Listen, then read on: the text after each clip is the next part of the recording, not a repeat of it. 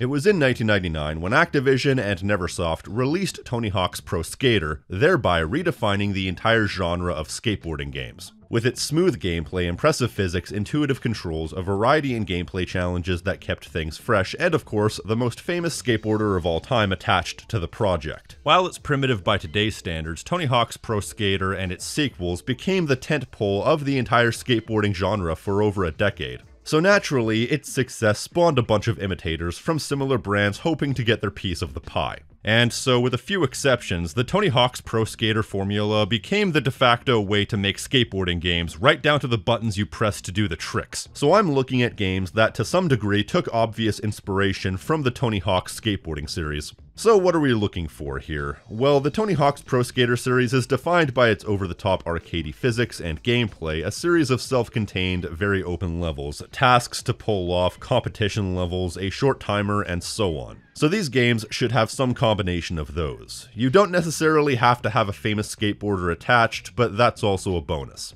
The Tony Hawk's Pro Skater style is so instantly recognizable that you know it when you see it. Plus, we're looking for games that came out at least one year after the original Tony Hawk's Pro Skater. For example, I wouldn't want to accuse Thrasher Skate and Destroy of being inspired by the Tony Hawk's Pro Skater series when it only came out four months after the first game. Otherwise than that, let's take a look at all the Tony Hawk's Pro Skater knockoffs through the years.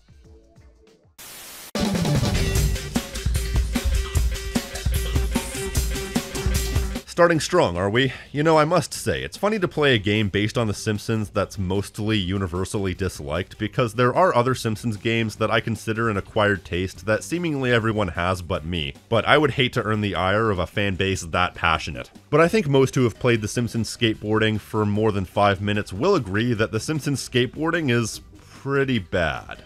No joke, I bought this game back in 2013-2014 because I liked the Tony Hawk's Pro Skater series, I liked The Simpsons, plus it seemed like a match made in heaven given how much of the show's iconic imagery involved Bart on a skateboard, and I thought it had promise. But not one level into it, I was regretting my purchase. To be honest, this entire game just reminds me of back when I used to skateboard because I also sucked. The fact is, this is a skateboarding game where the basic act of skateboarding is a complete and utter pain to do. Literally at your base stats, you can't even do half the tricks on flat ground. I'm sorry, but doing basic flip tricks should not be an ordeal. And hey, I understand to that doing a tre flip is anything but easy. I mean, I never pulled one off. But I also have the coordination of a drunk hippo.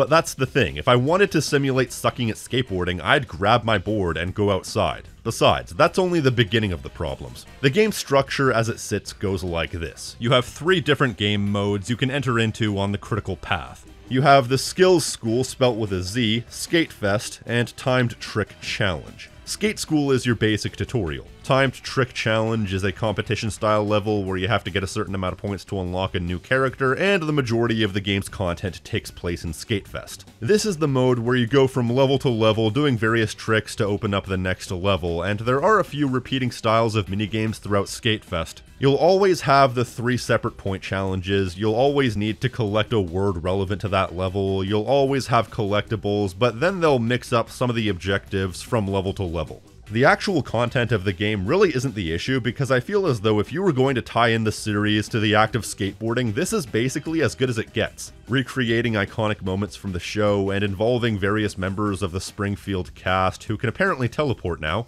Barney, are you aware that there's multiple of you? I would even say that the levels themselves are actually pretty good as skateboarding levels go. They adapt the world of Springfield quite well, with plenty of places for crazy tricks integrated into the design. They even have some fun little background easter eggs like billboards and such. But here's the thing, you need multiple things to have a game like this work. Level design is one of the building blocks, but controlling well is possibly the most important out of all the building blocks. Something like this does not control well at all. It may look like I'm playing terribly, but you have no idea how ungodly bad the controls are unless you play the game for yourself. Everything feels so heavy with the game, first of all, and not in the I have clinical depression and have gone off my meds for medical reasons way, but in the I have to force every single move I do sort of way. Pulling off tricks with any sort of precision is an accomplishment. The collectible collision is shaky at best, whether we're talking about the range on collecting letters or things like these signs not responding to you when you hit them, everything feels slightly unresponsive. You can't go up an incline of any reasonable degree, even turning around is an ordeal to the point where half the time I would just slam into a wall just to make it easier. And the controls can be so imprecise that when you line yourself up with something, you have no idea if you're actually going to pull off what you're intending to pull off. Plus, the level design at times is built for a game with much smoother controls than the game actually has. So I found that to access certain areas, I had to basically cheese the system. And to be fair, if you're not happy with your base stats, you get money that you can upgrade yourself with, but once again, being able to do the basic level of stuff should be the default by which you build off of. I shouldn't have to upgrade myself just to be able to do the basic stuff in the game. I quickly realized I wasn't going to bother with the collectibles quest because even the easiest collectibles were positioned in the most inconvenient locations, like this one rail sequence where you have to do a massive run up to get the necessary speed, because once again, the game engine is so heavy that going up an incline rail to any reasonable degree is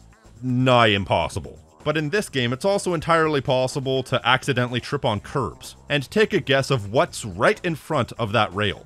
You have to get enough speed to clear the curb, get up the rail, and balance for long enough to get the collectible. And that's only one of nine collectibles you have to get per level. No thanks. You also can't rotate on your own. The game does that by itself automatically. A small thing, but it's a staple of adding points to a combo.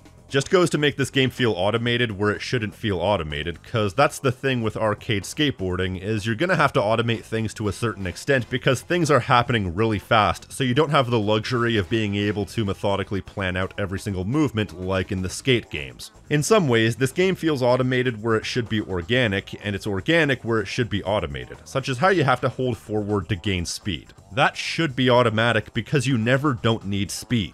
And if you have to constantly be holding forward, that means you can't make sharp turns because forward as well as left and right are on the same axis. You have to constantly be exchanging one for the other if you see what I mean. Just everything feels slightly off with this. The tricks feel slightly off, the collision feels slightly off, the ability to maneuver feels slightly off, and what does it all amount to? Bail after bail after bail. The way this game is skewed makes it extremely easy to bail in a way that's not present in pretty much any other skateboarding game. The Simpsons Skateboarding is a game that requires a level of precision that the game itself refuses to have, and yet I played through most of it. I guess it's the fact that every level only had a handful of main tasks, and the length of each level basically relies on the intuitiveness of the level design. Hence why I spent quite a lot of time in Burns' mansion, because for as intricate as that level is, it's a maze to work out. But genuinely, I was able to complete some of these levels in like 15 minutes. The main overarching tasks were usually pretty easy to figure out and had relatively forgiving time limits, then surprisingly the trick-based challenges are actually kind of easy as well. The amount of points you get for various tricks seemingly don't deteriorate, which is good because some of these tricks are completely and utterly stupid to pull off when it comes to their specific inputs.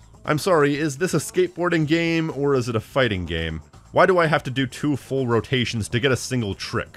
Are you aware that most of the time we only spend around 1 to 2 seconds actually in the air? Once you go past pressing a direction twice to do a specific trick, you're on thin ice. How can you expect a person to have enough time to do two full rotations just to do a single trick? But with that said, I guess some of these trick challenges were easy because I remembered the cardinal rule of subpar arcade skateboarding games, and that is spam, spam, spam. In this case, every time you grind, your positioning is automatically reset back to the middle, which means that if you find a relative straightaway or a full circuit of grind that has enough straightaways that you can keep resetting, you can pretty much easily spam the grinds, which is how I got most of the way through the game. I did actually get decently far into the game before I quit, and when I decided to quit, it wasn't my own fault. It's just that towards the end of the game, the game starts having you do these things called in the zone tricks. Now, in the zone tricks are essentially this game's version of specials, but however you're supposed to do the in the zone tricks is not self-explanatory, and I even decided to go back to these little tutorial levels to try and figure out if one of them teaches you what an in the zone trick is. But then my game crashed and I lost my save, and that's when I decided I was done. I would have definitely beaten the game, but the universe stepped in and told me not to. It's a shame that this game is as bad as it is, because to be honest, a Simpsons skateboarding game would be a good idea, but it wasn't meant to be, and I would like to see it revisited at some point, but The Simpsons hasn't had a non-mobile game since more than half the show's runtime ago. Sadly, I don't think this game was a bad idea, and it's not far away from being a halfway decent skateboarding game. Just tighten up the controls, make the physics lighter, make the collision more forgiving, and that's basically it. It's not the worst skateboarding game I've ever played, and it has some redeeming qualities, but it can be a chore to play at times. I give it a 3 out of 10.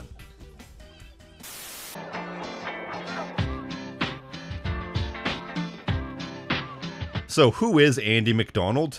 if I know. Before this video, I'd never even heard of him, but come to find out he's literally the most accomplished skateboarder in the history of the X Games as of like 2004 making him technically the greatest skateboarder in history. Now, this game came out in late 2000 during the dying days of the PlayStation 1. However, Tony Hawk's Pro Skater 1 came out roughly a year earlier, so it's a bit tough to know if this game was made based on the success of THPS or if it was just a coincidence that THQ wanted to cash in on the popularity of skateboarding at the same time as Activision and missed the boat on Tony Hawk.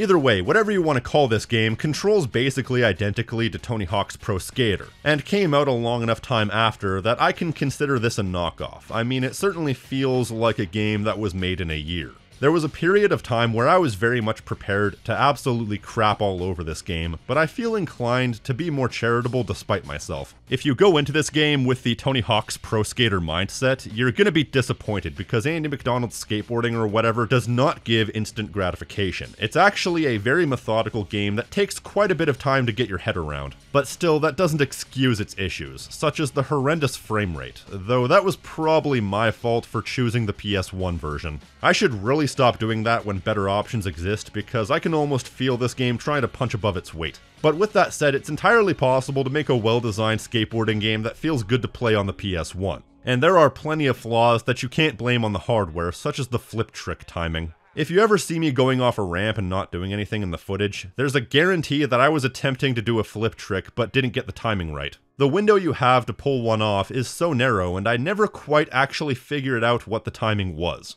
even as I beat the game. But even still, you can't flip trick and grab in the same combo, or if you can, the timing is so arcane that I never figured out how to do it. So if your choice is between a flip trick and a grab, you're gonna have to choose grabs anyway, because those give you way more points. Plus, another flaw is you bail really easily, to the point that half the time I'm not even sure what it was that made me bail. Can you tell me? Though I do love the sudden transition when you bail sometimes, it's literally so sudden that it reminds me of that one Grimace Shake meme that went around a while ago. I'm not sure if the point amount at the end of a run is entirely based on your total score, but the end of the run always has these pointers for you, so there's a possibility that the game might deduct points for bailing or for lack of variety and so on. But either way, if you do bail, it's probably worth it just to restart your run, because quite frankly, getting things going a second time takes so much time and effort that it's best not to bother, and keep going until you get a perfect or semi-perfect run. That is unless you're doing one of the missions where you have to collect a certain amount of pictures as well as get points, which is the only time in the campaign where they change things up, and those can be a bit obnoxious. Early on, it's forgiving. You only need to get 4 pictures and then score some points, but by the time you have to collect 8 pictures, you're really gonna have to budget your time. The secret to enjoying this game is to not give up on it, because I was basically telling myself that I was gonna quit after the third level because I was so frustrated.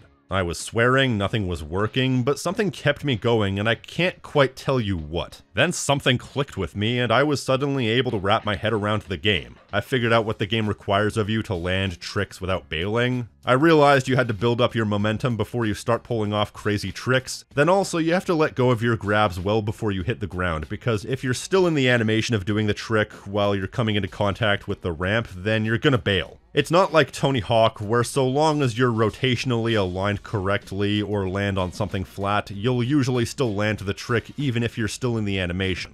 So this game is not forgiving, however with these things in mind, I found I was able to start building up momentum and then suddenly I was getting massive points and genuinely long sequences of tricks unbroken by bailing. I found myself steamrolling through every level on the first try, and they don't require you to get a super massive amount of points. Even by the end of the game, it doesn't escalate to the point of needing to get like a 9.0 average. It's fairly reasonable as far as how good you need to be to get through the game. There is one point, however, where I almost quit the game. There's this one level where you have to skate in a dilapidated train station, and most of the level has this low roof. Low enough that your maximum height in a decent half-pipe will have you collide with the roof, and most other areas where the roof is far enough away have issues where they don't have good half-pipes, and you'll likely bail anyway meaning it's nearly impossible to get a good trick sequence going. I was ready to pack it in, but I decided to give it one more shot to find a decent spot, and I found one in the back corner of the level and managed to get through that one. And instances like that are why, despite eventually having fun with the game, I can't in good conscience call it a good game because the engine is obviously janky enough that it gets in the way of the game quite a bit. When this game works, it's slower paced and a more methodical alternative to the Tony Hawk series that is genuinely enjoyable to me. But the problem is, getting to that point is obnoxious. The game still makes it a fight. But with that said, I still ended up beating the game, and even checked out some of the side content like that really annoying Big Air mode, which by all rights I should not have trouble with if I'm playing as Danny Way, the guy who basically invented this style of skateboarding. Also, I checked out that one level in Hell. They called it Hades, but it's Hell. Skating through the level, I'm half expecting to see Dante and Virgil entering the third circle. No, I'm not referencing Devil May Cry, I'm referencing Dante's Inferno. Get some culture in you, why don't you? Though I don't think Dante's Inferno had furries. Though I could be wrong. Yeah, why is a guy in a teddy bear costume the best skater in the game? They certainly had fun with their extra characters, so I ultimately enjoyed this game, but I'm not sure if I would consider it a good game. It's very flawed, the frame rate is bad, the engine can be quite janky and inconsistent, but I guess I'm just a sucker for these types of games, so eventually I got good. But not everybody should be as forgiving as me. I give it a 5 out of 10. Subjectively fun, but objectively flawed.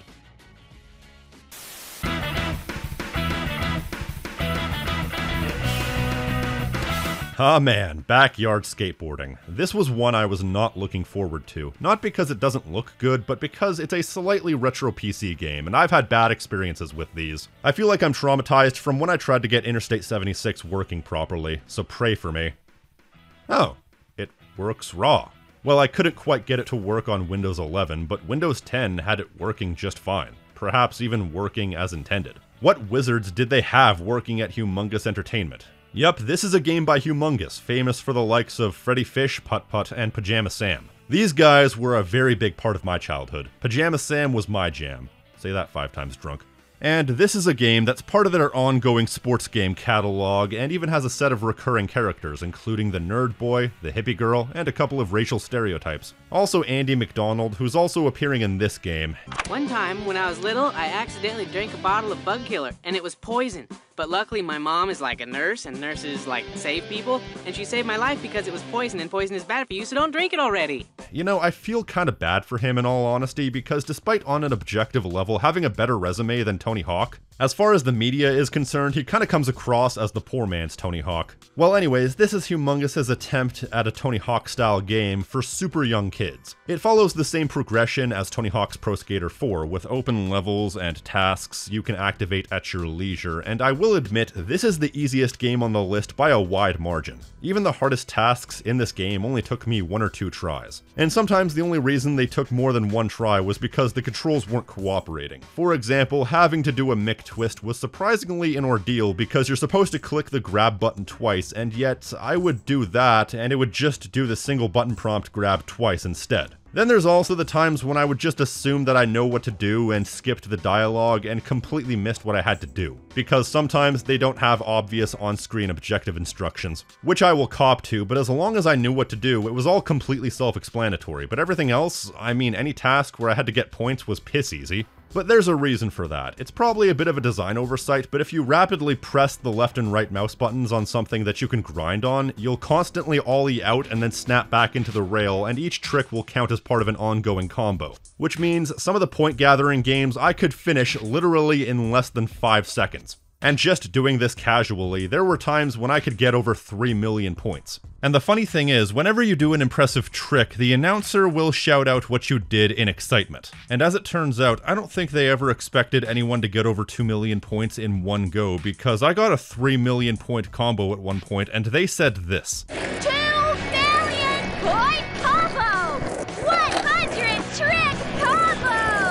So yeah, that's easy, and a lot of these tasks have you just doing a simple trick or collecting a series of items scattered around the level, and maneuvering around the level is easy. Even the balance was easy because the balance minigame never gets noticeably harder. I'm okay with this because quite frankly, this is, as far as the engine is concerned, as close as it gets to being a Tony Hawk game without being Tony Hawk. As a matter of fact, you could have told me they used the exact same engine for this, and I'd have believed you because it has the same accuracy and tightness of controls that you would expect. Plus, the level design is quite decent, with plenty of interesting spots and skateboarding architecture, and the level themes are also very interesting, with such things as a medieval castle and even a space-based skate park.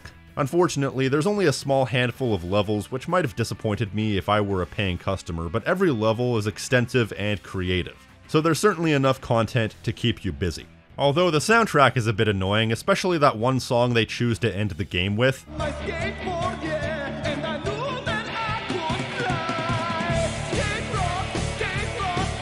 It feels like sort of a modern ironic deconstruction of the rock and roll genre, but that doesn't make it sound any better. Other than that, the only thing that's missing for me is controller support, because keyboard controls that I'm not used to can be a bit confusing. And I would love to play this with the same controls as the Tony Hawk games. If we were able to have that, this could easily be an alternative that reaches or even surpasses the thing it's inspired by. I feel like the fact that it's so easy means that it can only be so good to a grown-ass adult like me, but this is perfect for young kids, and it's a shame that this is abandonware at this point. It never got the same revivals that Pajama Sam, Putt Putt, or Freddi Fish got. But honestly, I could see myself going back to this one. It's a solid as hell game and a great addition to the genre of Tony Hawk inspired games. I give it a 7 out of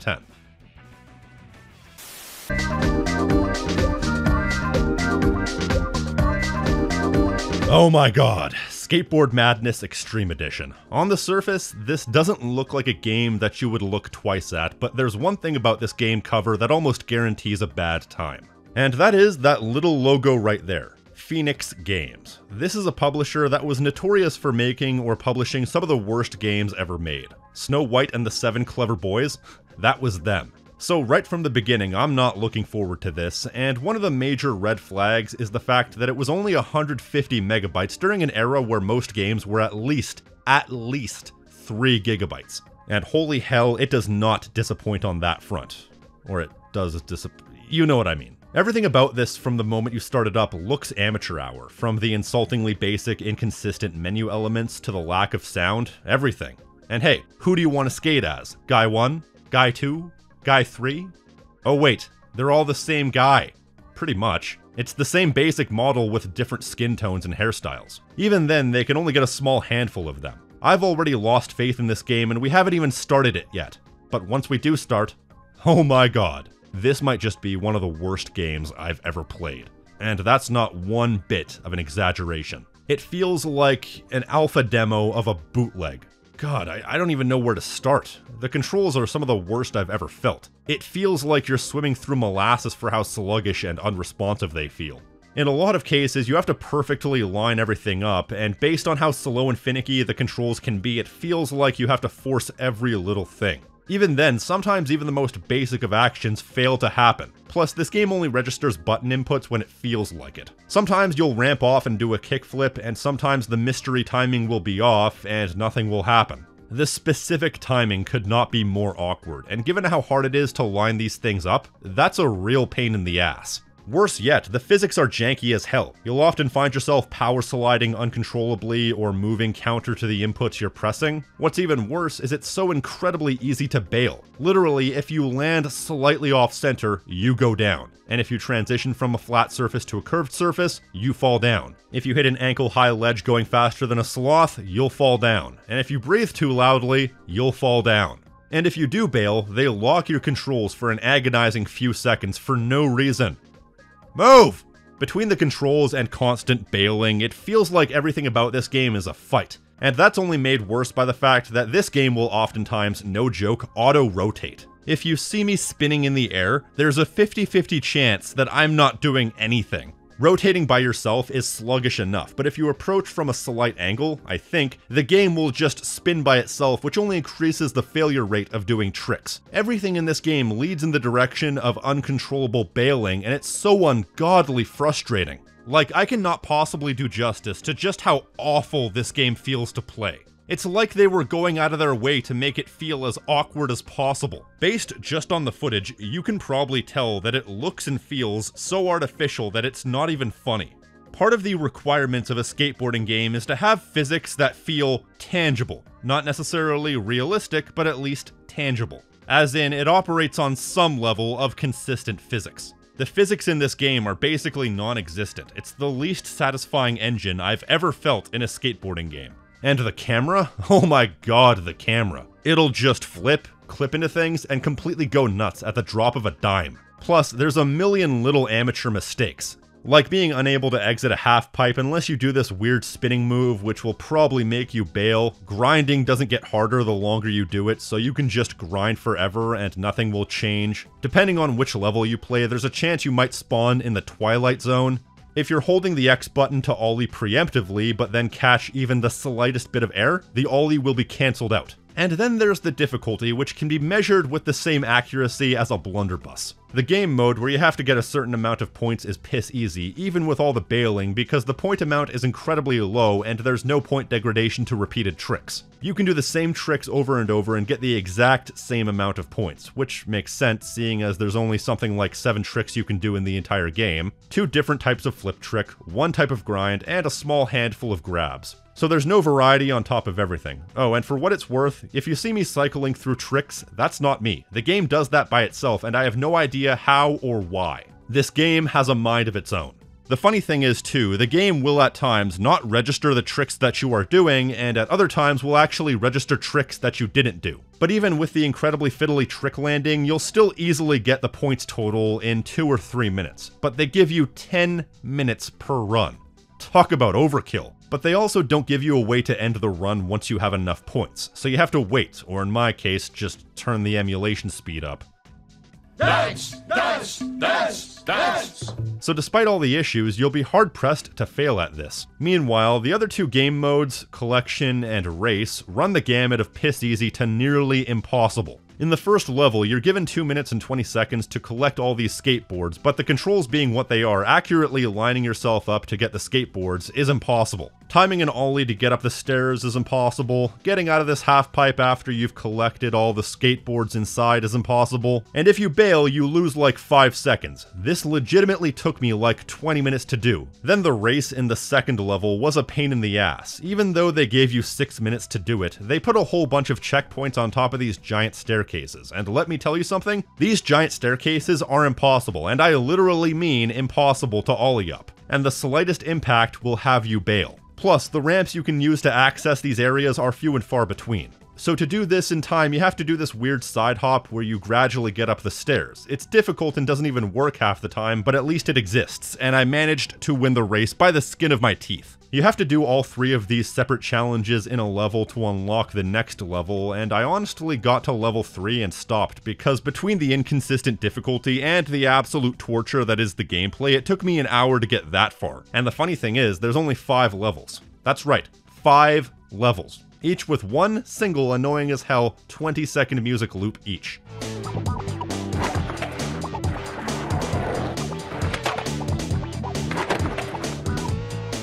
So if you're good, you could probably beat this game in less than an hour, but that would also require dealing with the absolute torture that is Skateboard Madness Extreme Edition as a whole. And look at these. Is this not the most boringly laid out series of skateboarding levels you've ever seen? It's so flat and lifeless, with spots coming few and far between. And when they are, they're incredibly basic spots. Then the graphics are bland and low quality, there's no style, and they only bothered to make five of the things. Is it just me, or does everything about this game scream low quality bootleg? Even the name of this game screams low quality bootleg.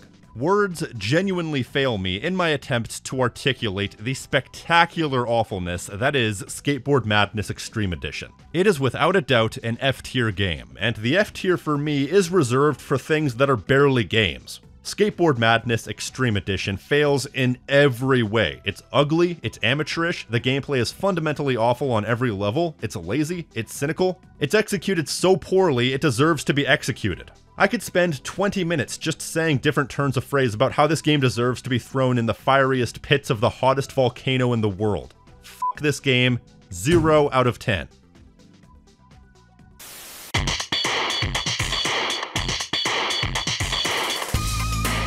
You know what's funny? During my play session where I was playing Skateboard Madness Extreme Edition, I played Disney's Extreme Skate Adventure immediately after, and I gotta say, I don't think I've ever had a more drastic palate cleanser. We are basically going from the outhouse to the penthouse. Disney's Extreme Skate Adventure is one that I've been aware of for quite a while, like since I was 14. I had a friend from high school who was one of those people who managed to keep their childlike whimsy into adulthood. Personally, I'm jealous. He was a big fan of skateboarding and a big fan of Disney, so he was the one who made me aware of this game that is essentially Tony Hawk but with Disney characters. And he was not lying whatsoever. I knew the lead developers were Toys for Bob. C platformer fans, they existed before they made the things you like, and they will exist long after. But I was surprised to see that Neversoft was credited as well. Come to find out that it's because Toys for Bob was lent the Tony Hawk's Pro Skater 4 engine to make this game basically making this less of a knockoff, but more of a reskin. But I'm still including it because when the hell else am I going to be able to cover this game? I was taken aback at first because the opening cinematic includes a bunch of random clips of kids skateboarding. Definitely selling this as Tony Hawk, but for kids, slightly older than the ones Backyard Skateboarding was aimed at. And they have an entire story mode for the kid characters. Hey, look, it's my friend Ryan. I didn't know he was in this game. But in all honesty, I barely indulged in the gameplay with regular humans, mostly because you have to create a custom character, and something about customizing a child's appearance felt wrong to me, so I immediately clicked off. Besides, we're here for the Disney characters. And of course, I decided to put in the cheat to unlock all the characters so I could play through the story mode as Zurg, but you do have a healthy selection of characters you can choose from.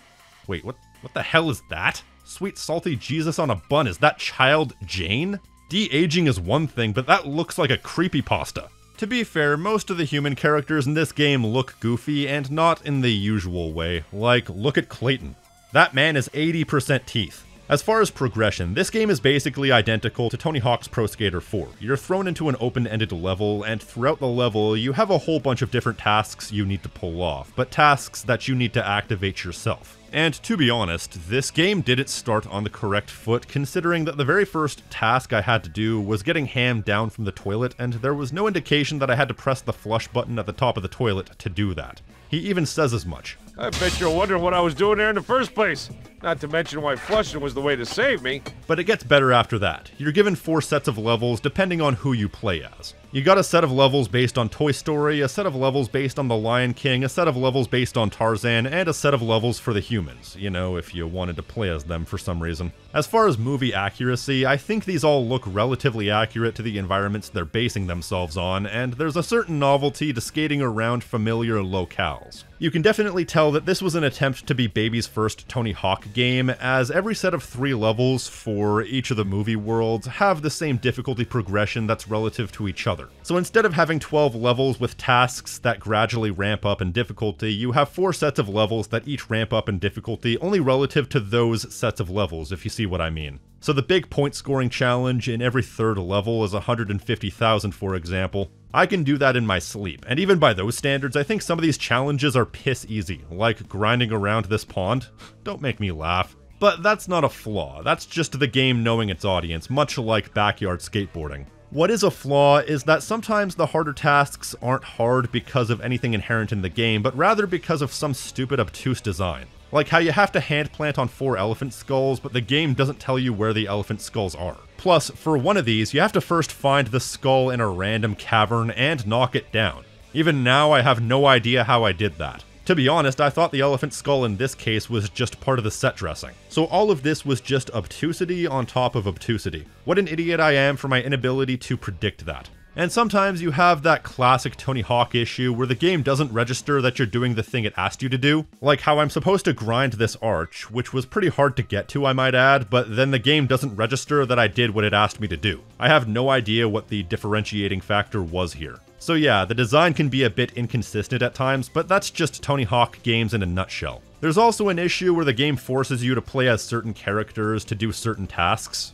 I have no idea why that needed to be the case. And there's a further issue where playing as non-human characters can make landing tricks a little bit hard to do. Because when you have a human character and a skateboard, it's very easy to know when you're aligned with things properly. But when you have non-human characters with funky board designs or non-human characters that stand on the board crooked or whatever, it can be hard to visually line them up with split-second timing. Which is a flaw definitely inherent in this concept of adding non human characters to a skateboarding game, so I'm not sure how you would fix that. I also really don't dig the game's soundtrack. It's a who's who of Disney approved early 2000s butt rock. The only ones I recognized were Smash Mouth and Simple Plan. Simple Plan, which I rank as the fourth worst Canadian export, losing out to Johnny Test, Caillou, and French people. Still, I can't stress enough that if you like the Tony Hawk games, you'll like this, because it's basically the same thing. It has all the same creative level design, the same simple controls, the versatility to allow you to string massive lines together, and a variety of interesting levels. It's not quite as good as the best Tony Hawk games because it has a few polish issues and some flaws that are inherent to its design, but as far as games that attempt to ape off the style of Tony Hawk, this is easily the best one. But then again, it was cheating slightly given the fact that it was using the same engine. Either way, I give it an 8 out of 10.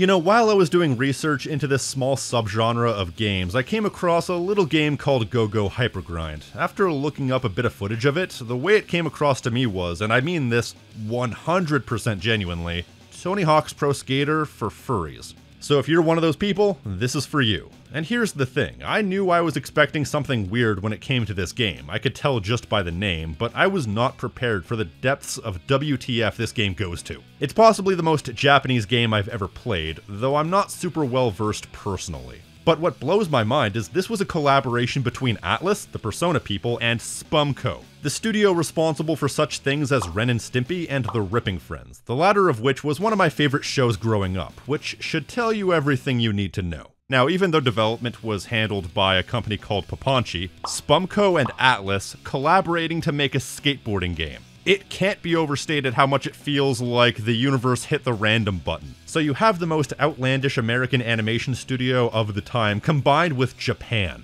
So every time you think they've reached critical mass with weirdness, they pile a few more layers on. So the plot is there's this thing called the Toon World where animation studios send their storyboards so that cartoon characters can act them out. It's a weird sort of Roger Rabbit setup, but computer generated animation is strangling the toon economy, so you need to create one massive super blowout event of a movie to try and win favor back with the general audience. And holy crap, does this hit close to home with all the AI stuff going on right now. So basically, you need to pick from one of various different cartoons and fight through several elimination skateboarding tournaments until only one remains, thereby they will be the star of the movie. I thought as though I was going to give snarky names to all these characters, but I feel as though it's almost more instructive just to describe them. You have a pig in a bikini, a toilet paper mummy with pink hair, an actual leather clad cat, and of course who they are probably intending as the main character, Crash Bandicoot if he was a wolf. And on top of that, you also have a giant buff cat as a rival.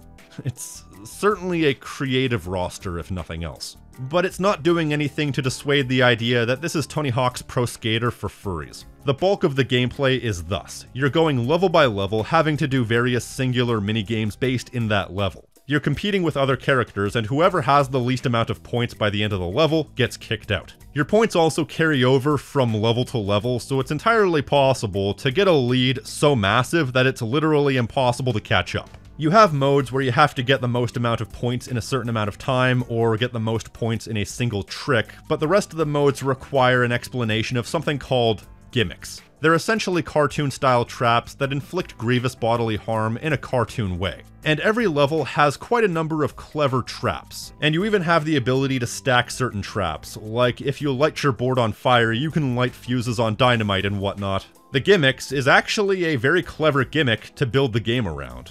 Looking at it, I think this game is to Tony Hawk what Cel Damage was to Twisted Metal, right down to the art style. Aside from the two game modes I mentioned, there's the battle mode where you have to put yourself into gimmicks in order to get a weapon to use on your opponent. Simon Says where you have to try and get as many gimmicks that the game wants you to get within a certain time span. A race where you have to put yourself into gimmicks until you have three medals, at which point you have to go back to the main gate. And then finally something simply called minigame, which will vary from level to level. So this is an interesting setup with a lot of potential for fun ideas, and honestly, they do deliver. The gameplay is possibly the most flawless recreation of Tony Hawk's Pro Skater style gameplay without directly copying it that I've played. The gameplay is a bit slower than I would have liked, but with that, you always feel completely in control, and there's a good snappiness to the gameplay where the effective range on a lot of various things, from rails to gimmicks, are relatively forgiving, so you don't have to worry about being overly precise, nailing that arcadey feeling that these games need. Granted, there are a few weird creative decisions, such as with the GameCube having fewer buttons than other consoles of the time, it had to be a compromise to include the gimmick function, so this game has no flip tricks. Yeah, no shit. This is a skateboarding game where you seemingly can't do a kickflip. Fiddle-dee-dee.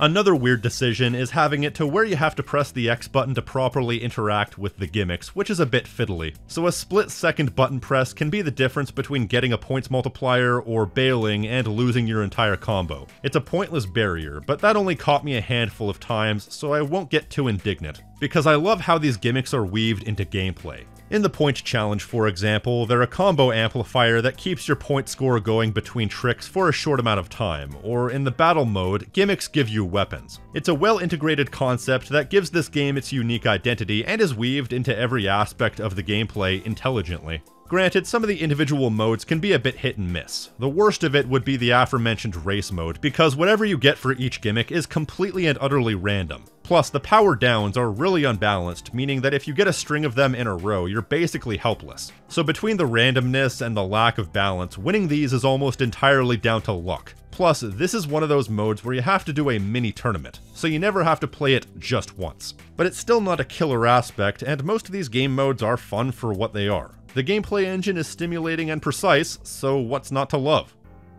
I think the main problem for me anyway is that every single game goes on for far too long. Every level takes about half an hour before you get through every minigame in that level, and some of them even have multiple tournaments within the tournament where you have to do a bunch of battles or races or whatever, all for the purpose of getting 12 points apiece. The problem with arcadey gameplay like this is that they benefit from short runtimes, and if you push that, you're on thin ice. This game pushes it to such a ridiculous degree that it's not even funny. In every single tournament level, only one person gets eliminated, and so you have to go through 8 levels, each at roughly a half hour of length with each level having only one song that plays over and over and over and drills into your skull.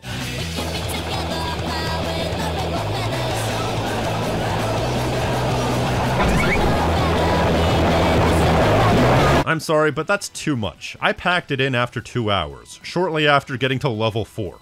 Yes, 4 of 8.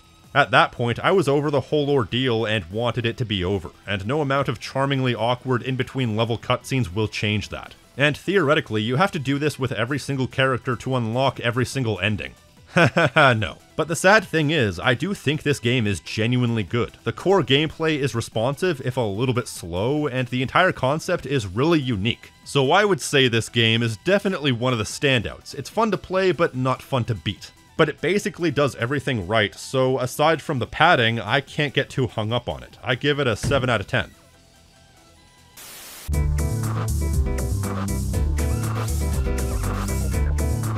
Oh, you thought I was done with Disney skateboarding games? well, think again. We're not done, and we won't be done after this. Not only that, but this is also one of three different attempts from Konami to make a skateboarding game. So this one is using their engine, which as I will discuss when we get a little bit deeper into the list, is not a very good skateboarding engine. Still, let's not count this one out. It's essentially a skateboarding game from that era where Disney was desperately trying to reintroduce their classic characters to a new audience, and what's more rad than skateboarding? Anyways, I'm gonna pick Pete because I'm a raging hipster. Now, there's one thing that kind of struck me about this game right off the bat. Well, a few things, most notably in the first level. I mean, does this strike as a bit familiar to anybody? You're on a skateboard, skating down what looks like some sort of San Francisco esque level. You have these weird green shiny stones you have to collect. Looks a little bit emerald esque, if you ask me. There's these giant rings you have to go through to finish the level, and you have like pads on the ground that boost your speed. You get graded at the end of the level depending on your point score and performance. Am I bringing across what this reminds me of? Well, let me spell it out. This seriously reminds me of SA2. A game I haven't played in quite a while, but it has unmistakable iconography. Iconography that this game is seemingly ripping off and making a core element of gameplay, and once I got that into my head, I couldn't stop thinking about it. Even the intro kinda reminds me of that as well, but that might be because the intro is aggressively early 2000s. I mean, am I crazy for thinking levels like this are evoked by levels like this? This is like a combination of a Tony Hawk Pro Skater game, particularly one of the downhill levels from the first game, and a bad Sonic game. So, most Sonic games. Because on one hand, you have to go through these levels and pull off a bunch of tasks that will determine your score at the end of the level, and if you don't get a high enough score, you can't move on. But unlike Tony Hawk games where you can retry a level as many times as you need to pull off specific tasks, you have to do this all in one go in order to have a decent score by the end. I didn't know that at first, which was a real lurch when I saw that my tasks had been reset when I retried. But either way, that's the Tony Hawk contribution to this game, aside from having very similar controls and gameplay. And what it takes from Sonic, aside from some of the visuals, is that you have to go through a specifically designated course and get to the end of the level. In this case, the course is determined by these checkpoints, and if you can't make it to the end of the level in time, all that effort was for naught. But also, the reason I specify a bad Sonic game is because the physics are actually very slow and methodical, and it's only once you hit a boost pad that you'll actually speed up to any significant degree. The physics and momentum are just bad, and the controls aren't exactly great either. You'll snap to rails well enough, but the timing on the tricks are a bit hit and miss, which makes building a combo a bit difficult, so the gameplay is slightly obnoxious and requires probably a little bit too much out of you for 5 minutes by default, but you don't have to do everything, just enough to get enough points in order to move on to the next level. However, there is one aspect to this game that is such a killer aspect that it makes me genuinely despise this game the announcer. Eyes open, tail slide, and another heel flip. Ooh, little speed combo. Sure did. Throws in 720 kick blue. Now we have a hard flip. 50-50 grind. Seven trick combo. Superb board control. Christ almighty, he does not shut the fuck up.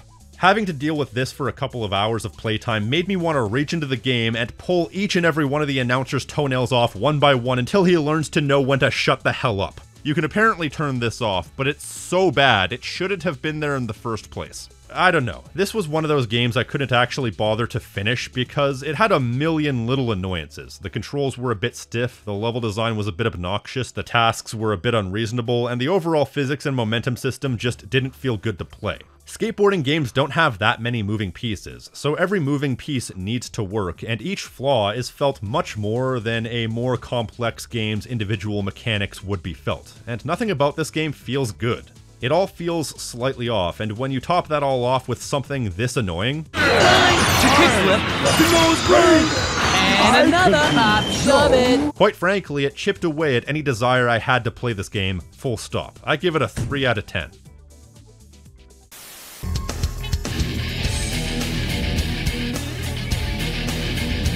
Disney's extremely goofy skateboarding is technically the first chronologically, but in my case, it's the third Disney based skateboarding game, this time starring Goofy alone. Well, actually, you can play as Max, Goofy's son, who I chose to play as because Goofy is basically the last Disney character I want to play as, with maybe the exception of Donald Duck, hence why I haven't played much Kingdom Hearts.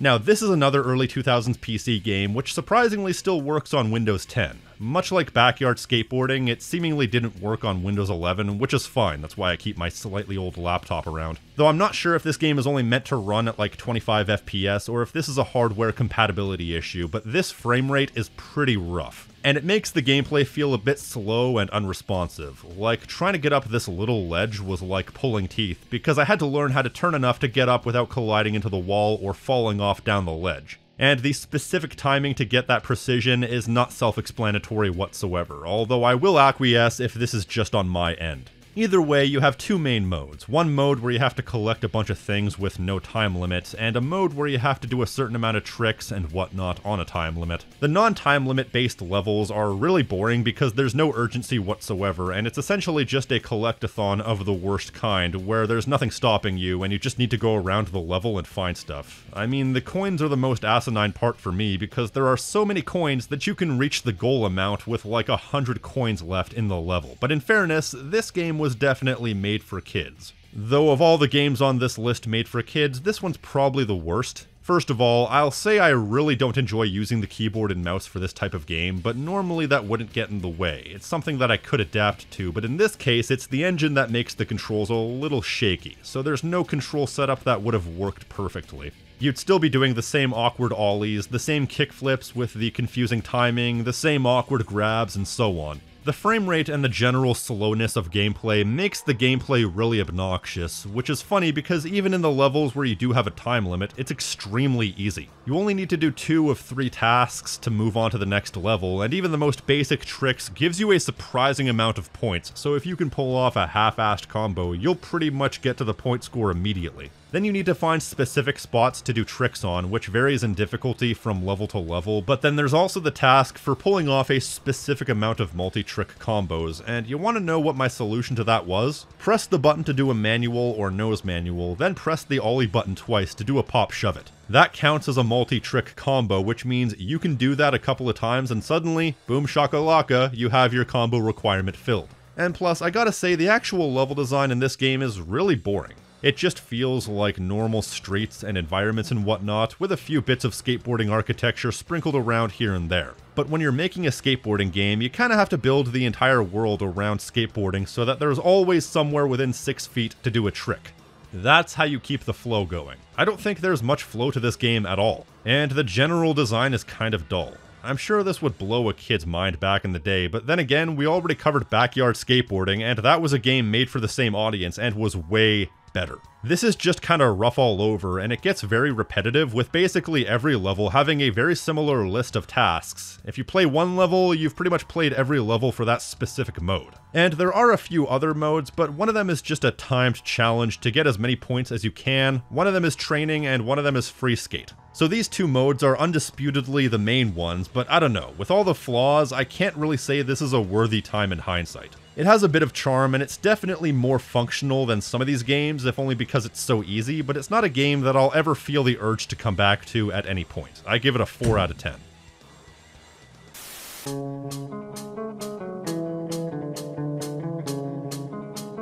ESPN X Games Skateboarding is the second skateboarding game on this list by Konami. I guess they really wanted to get that sweet, sweet skateboarding dollar, and since Tony Hawk was already tied down, they decided to sign the branding of the second most well known name in skateboarding, and that is, of course, the X Games itself. Because aside from Tony Hawk or the X Games, you'd be hard pressed to find anybody who could name anything skateboarding related outside of those two things. Although these days you might think of Darby Allin, but that's only if you're a wrestling fan. I would assume the X Games branding is being used solely to sell this game, considering that the actual pros that they signed on are a who's who of I have no idea who that is. With the exception of Rick McCrank, but that's really only because I've personally met him. X Games skateboarding, as I'm going to call it for expediency's sake, is a bit of a tragedy because when it started out, I actually thought it had potential to be really good, or at least decent. I'll explain why in a minute, but only after I discuss some of the flaws. The controls in this game feel somewhat unresponsive compared to how they should feel. In a good skateboarding game, you should be able to ollie and then press the flip trick in very quick succession after each other, and once you're in the air, the flip trick should happen, but in this case, you can't do a flip trick unless you hit the inputs once the animation of ollieing has already happened, but also not too long after the animation has already happened, otherwise you'll obviously bail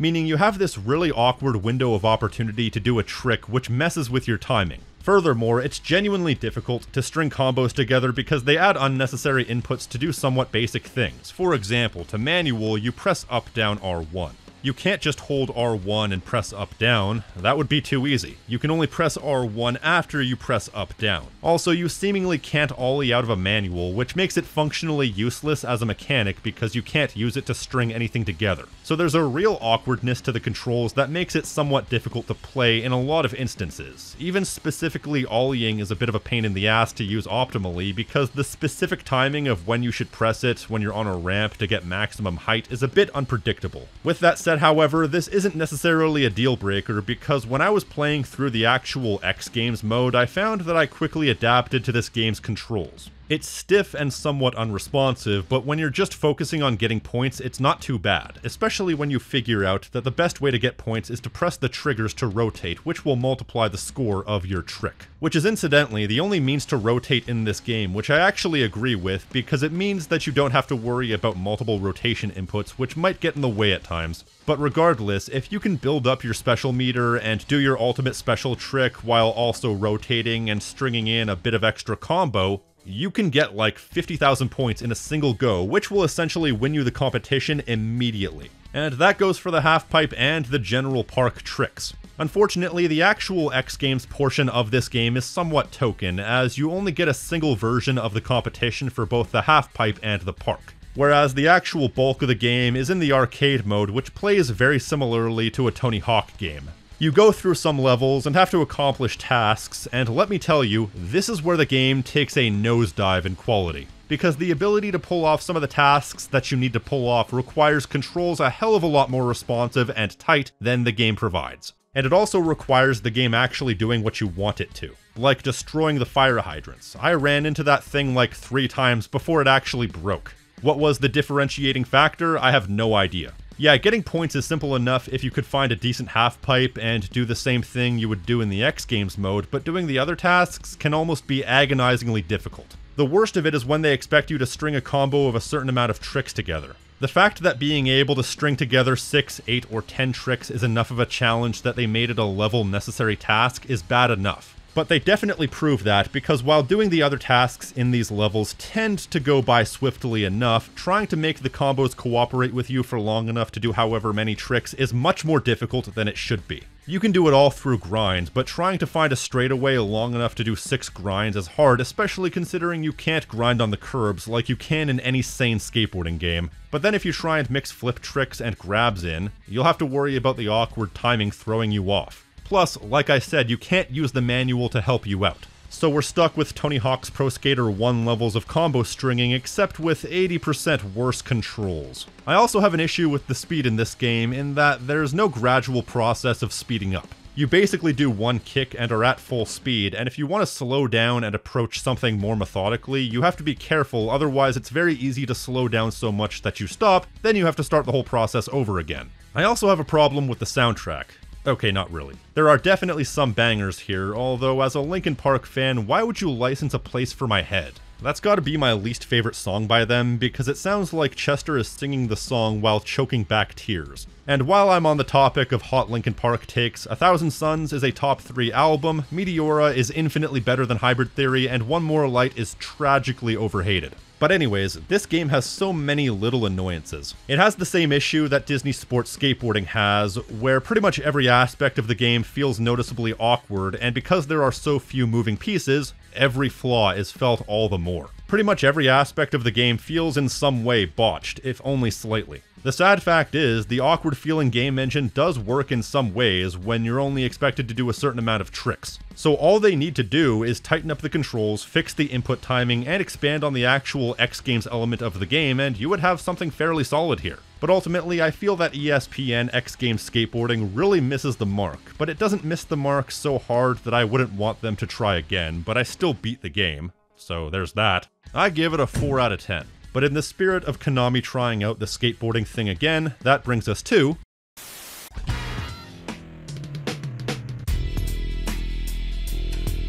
Evolution Skateboarding. What a shame this one is. It could have been great.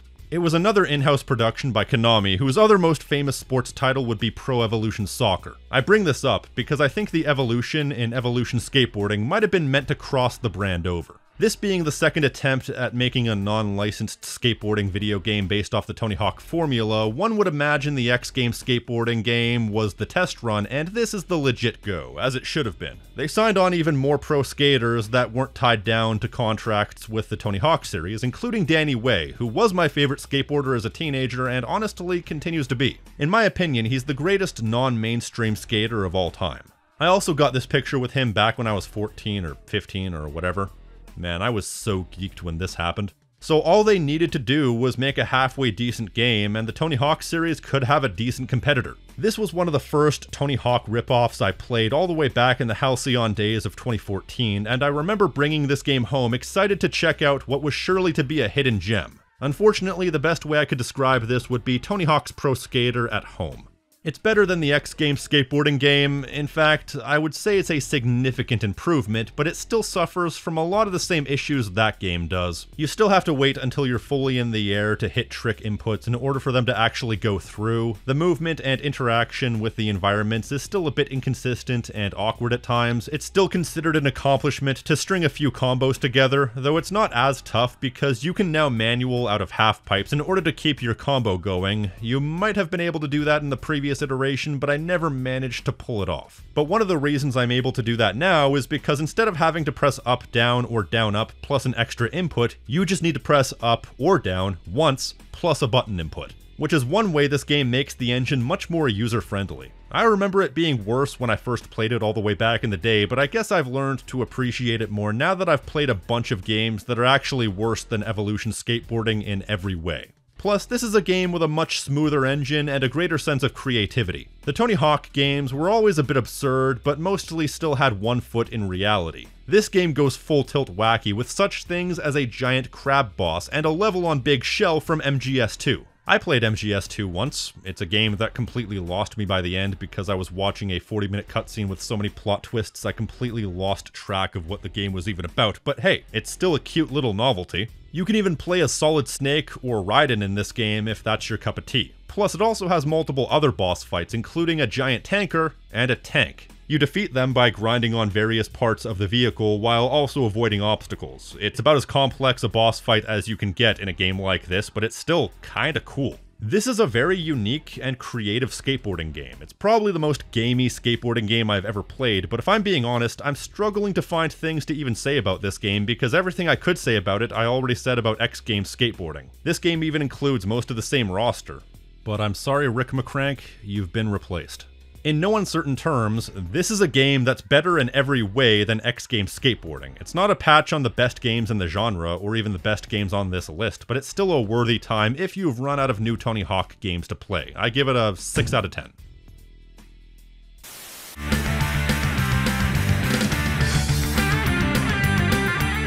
Yanya Caballista City Skater is a game where the name is somehow not the weirdest thing about it.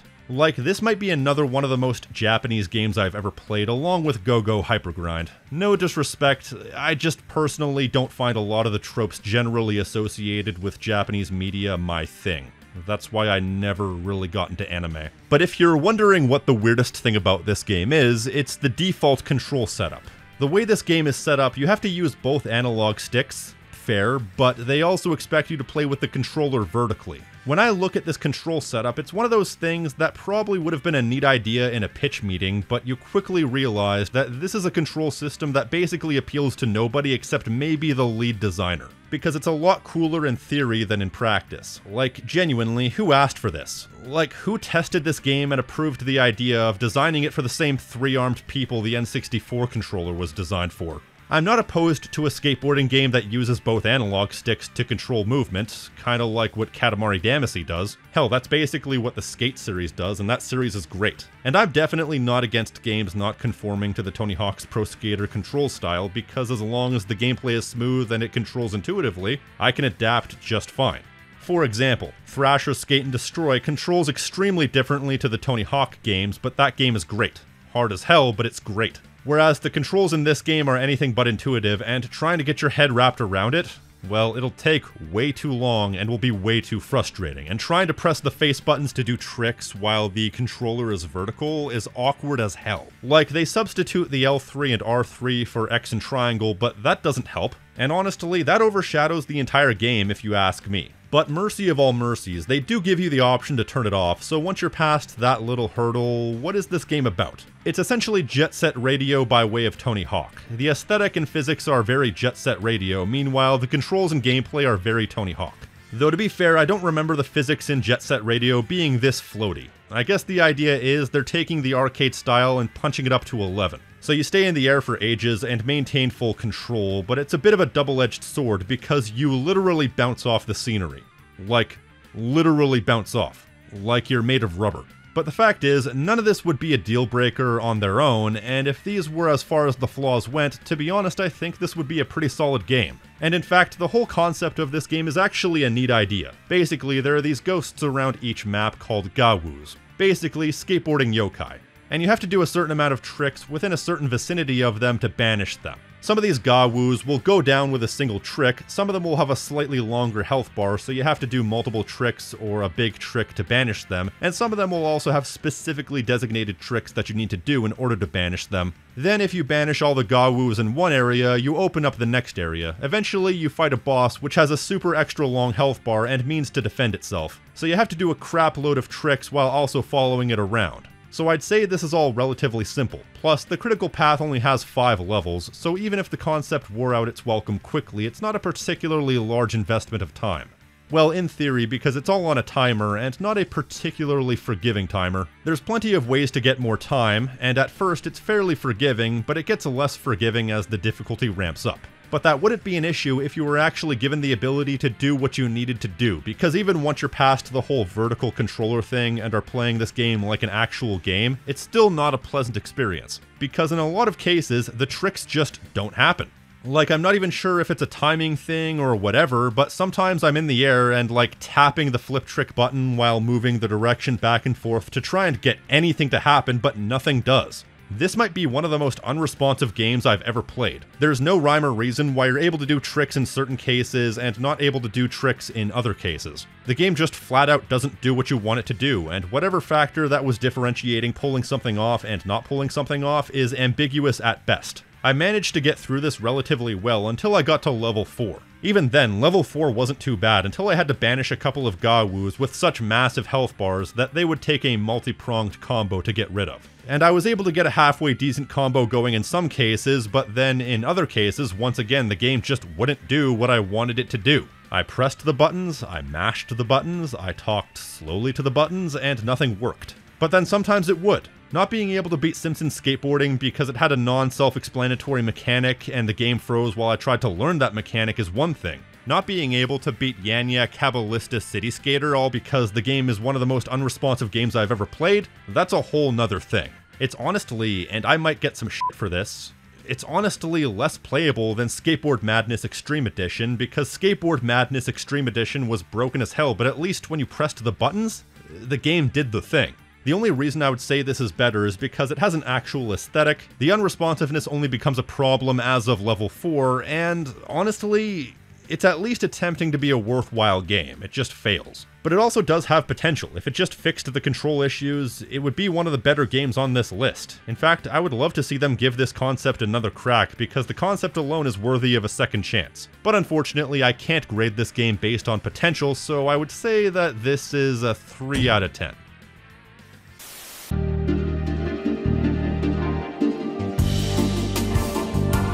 And now the final, and as yet most recent game on the list, Skatebird.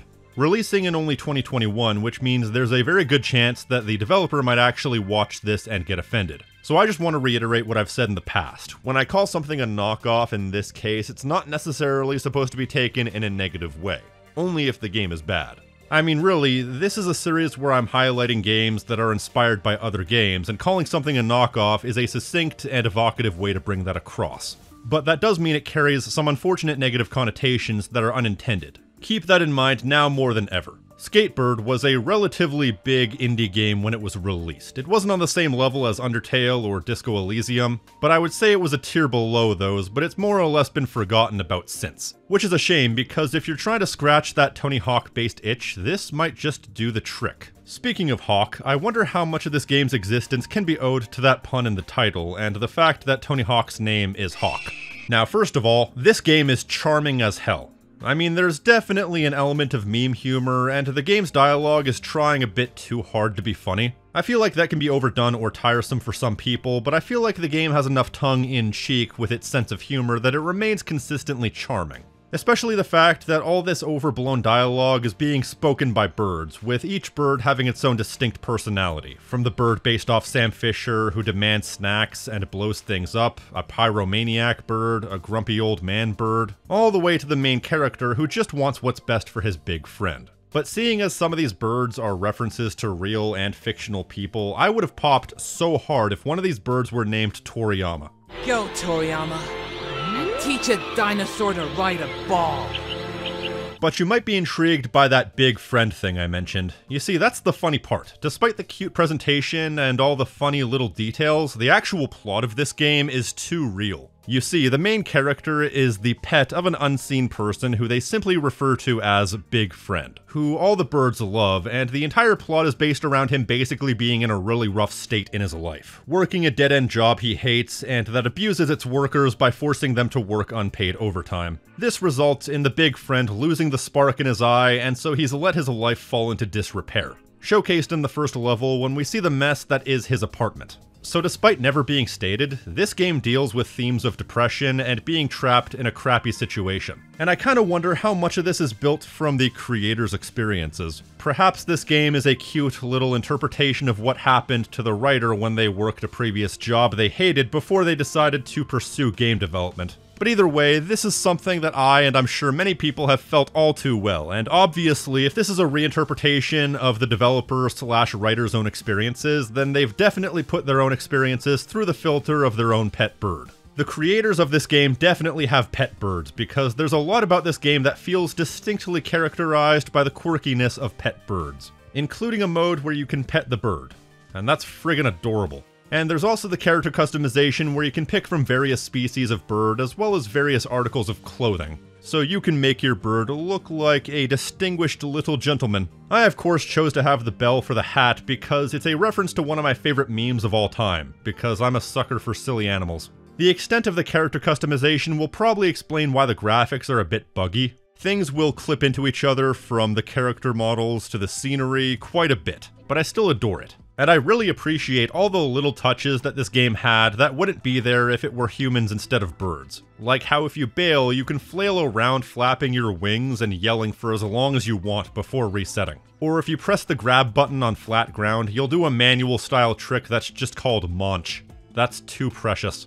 Normally, I'm a bit dubious of things that try to go out of their way to be cute. That's why something like Super Lucky's Tale looks sickening to me. But I feel like this game has enough irony in its presentation and enough darkness to its themes that it works for me. Not fully, but mostly.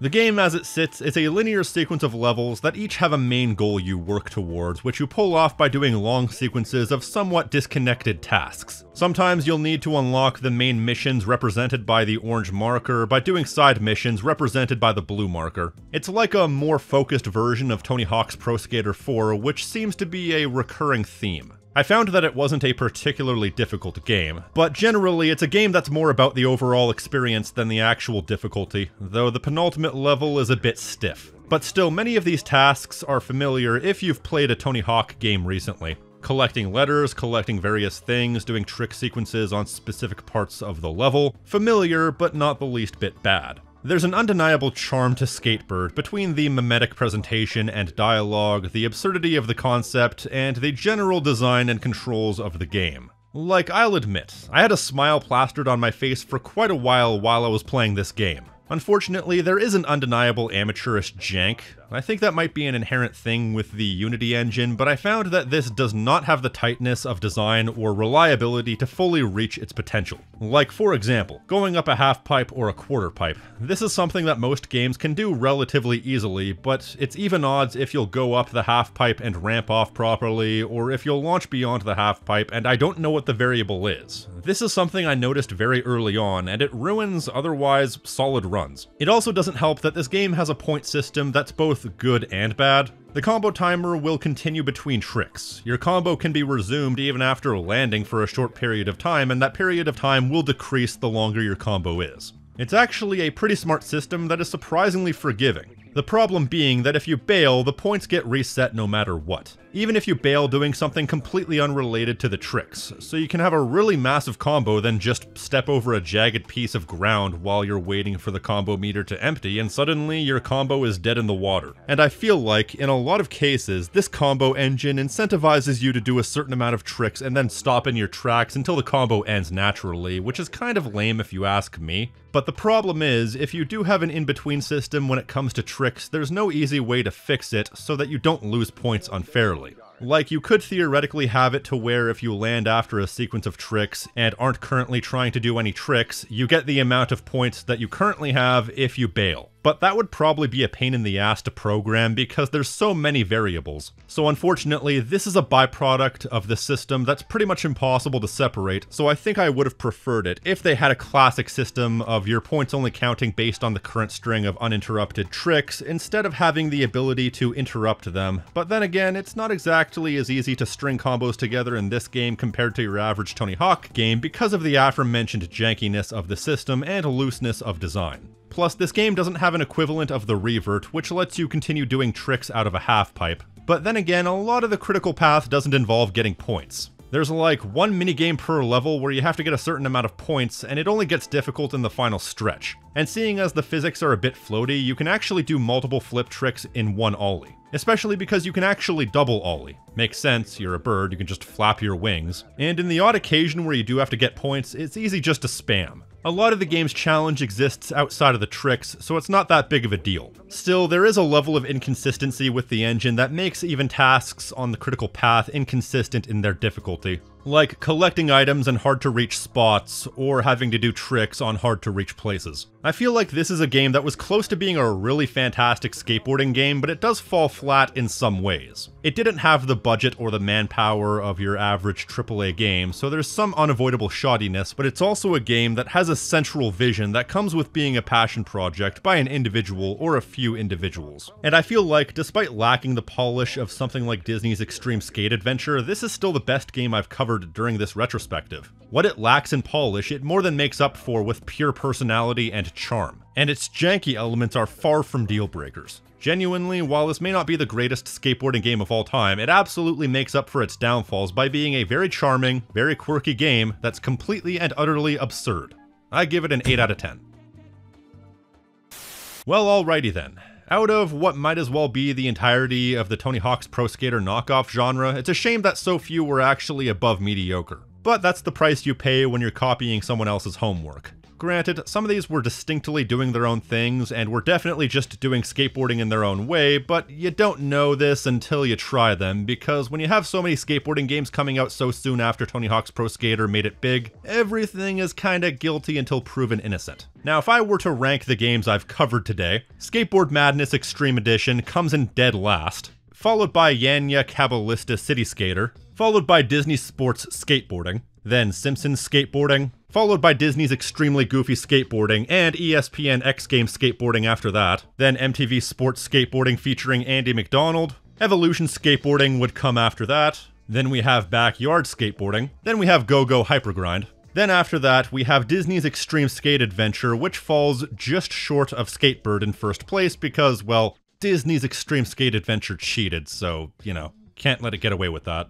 It's funny how the games that were most favorably received were the ones that managed to have decent controls and did their own thing. Skatebird, Backyard Skateboarding, and Go Go Hypergrind are the three that stood out to me the most. Games that are solid in their own right and are very memorable in their design and subject matter, but it's also funny how many Disney games were tied into this. What was it with Disney and skateboarding in the early 2000s? Well, like I said, I guess it was when they were trying to make their token efforts to update their classic characters to fit a modern audience, which I think is the definition of pissing into the wind. Characters will always appeal for certain reasons. Changing them to appeal to different audiences will leave nobody happy but I'm not a Disney adult, so I guess I'm the last person to speak with authority on the appeal of classic Disney characters. But seriously, if you include ESPN X Games Skateboarding, which are both owned by Disney, four of the games today were in some way tied to Disney properties. And also, three separate games were made by Konami, which really just tells you how desperate they were to try and get their fingers into the pie of skateboarding games. Well, tough luck. I'd like to see more people give their take on classic arcade style skateboarding in the future, because while it may have been oversaturated at a time, it's a bit barren these days, and it would be fun to see it make a comeback. But that's all I've got. What's your favorite Tony Hawk style game? Let me know in the comments, and don't forget to like, subscribe, and hit the notification icon so you're always up to date on what I'm doing.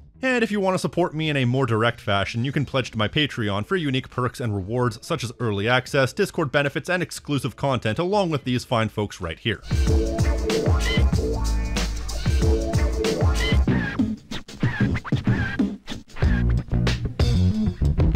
And an extra special thank you to Andrew Ritter, Brooklyn, Dick Kickham, Gaw004, My Name is Tank, Monsieur Thenardier, Patchwork, Raaf, Ranger X, and Weird Webbster for going above and beyond. Elsewise than that, I've been the King of Snark Style right here on Tactical Bacon Productions, and I will see you next time. Stay crispy, my friends.